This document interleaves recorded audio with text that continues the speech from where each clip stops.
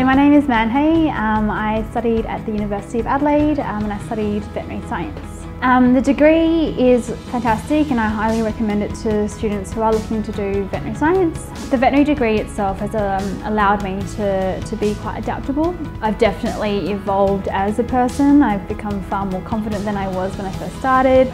So the best thing about studying at Adelaide University um, was the small classes, so having the um, close interaction with the staff members and also with your classmates. It's a fantastic degree to end up with um, a veterinary science degree that can be used um, worldwide. The veterinary industry not only just in involves working in clinics um, and going on to be a specialist, an, an array of, of, job opportunities are out there.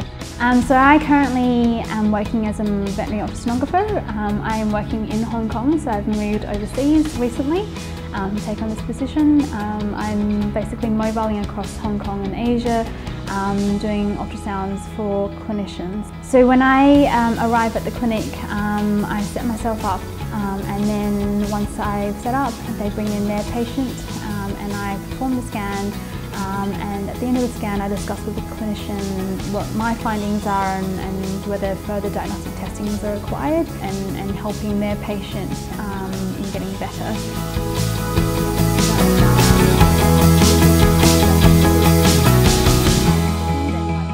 The other thing that's also great about the University of Adelaide is um, the location of it. Um, it's located amongst all the wineries in the Barossa Valley, so on weekends um, or nights off we go out and um, have a nice dinner and um, have a bit of fun and um, so I think just the, the campus life and where it's located is, is great in that sense as well because you don't have to be always on campus. Uni is a time to just enjoy the, like your adventure and, and, your journey throughout the degree because it, yes it's long but it's something that is definitely worth it.